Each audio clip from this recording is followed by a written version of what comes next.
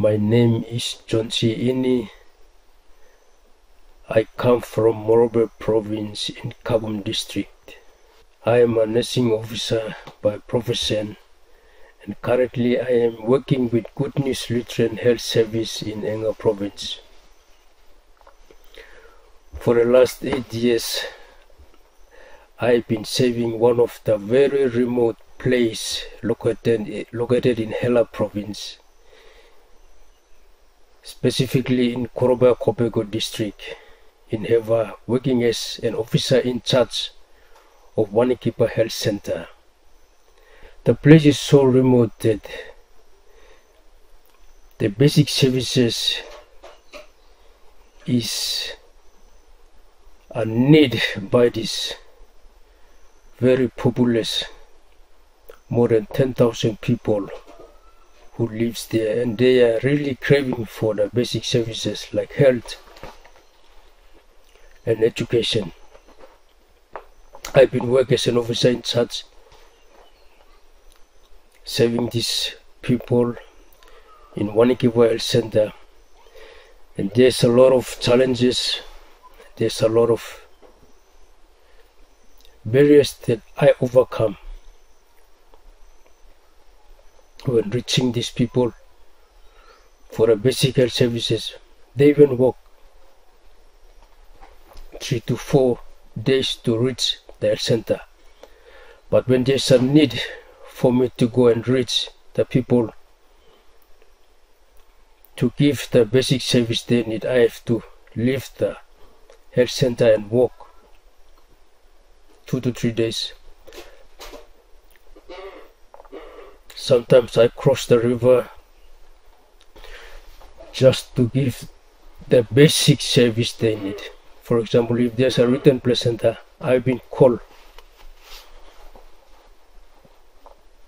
to go and manage the matter.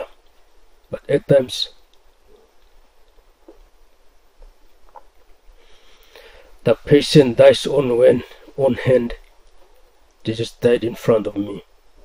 My work comes with its fair share of challenges, but saving our lives bring immense happiness and satisfactions and a sense of fulfillment that makes all the sacrifices worthwhile. Patient care is the driving force behind my commitment and the opportunity to make a meaningful contributions to healthcare keeps me motivated despite the hardships and challenges being faced. I continue to strive and overcome obstacles knowing that my efforts are making a real difference in people's lives especially in this very remote place that I have been serving Wanikipa Center. I would continue to stay focused because I know that I have a mission to accomplish. I have a mission to save life. Despite overcoming such barriers, remain still remain fresh in my mind. However, these very experiences and hardship I've been facing strengthen my resolve to continue my work. I received a call from the Aster Guardians Global Nursing Award team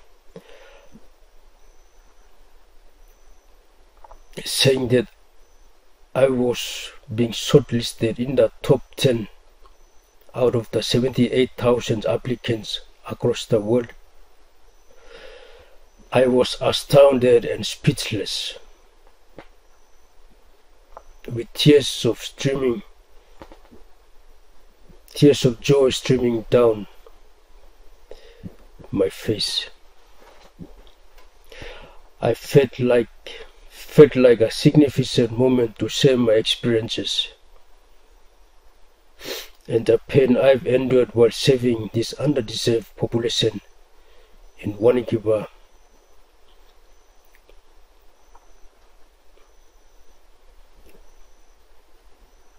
This recognition has given me a platform to highlight the challenges and triumphs of my journey and I am grateful for the opportunity and ready to share my stories and experiences at a global stage.